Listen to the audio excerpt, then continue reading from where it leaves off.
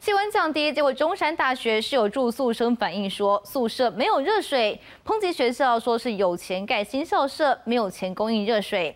并且，校方是坦诚管理有疏失。而天气冷，医师也提醒民众，除了身体保暖之外，也要做好脚部保暖，避免脚中风。想洗热水澡，却发现水是冰的，耐不住脏的人只好硬着头皮洗，全身发抖。询问周边同学才发现，不是只有一人碰上，而是中山大学学生宿舍好几天都没热水。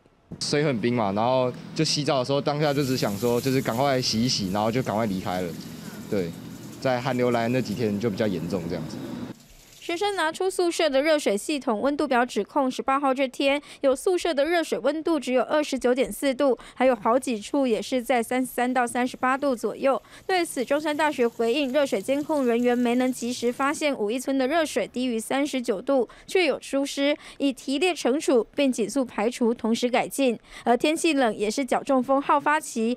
日前，高一收治一名七十岁妇人，因脚麻、下肢冰冷来求诊，诊断后发现是俗称脚中风的急性下肢动脉栓塞。我刚刚开始觉得冷冷的、灰灰的，后来才觉得有一点颜色了，会突然就是蛮冰冷的哦，就是还会疼痛，然后开始会变麻哦。其实这些症状当然如果只是单一，可能。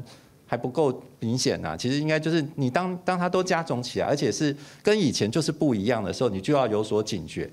医生说，脚中风除了三高族群要留意，气温骤降也容易发生。以急性脚中风来看，平常日每月约二到三例，但碰上寒流或低温来袭就可能翻倍。提醒民众做好脚部保暖，因为脚是人的第二心脏。记者王庭陈显坤高雄报道。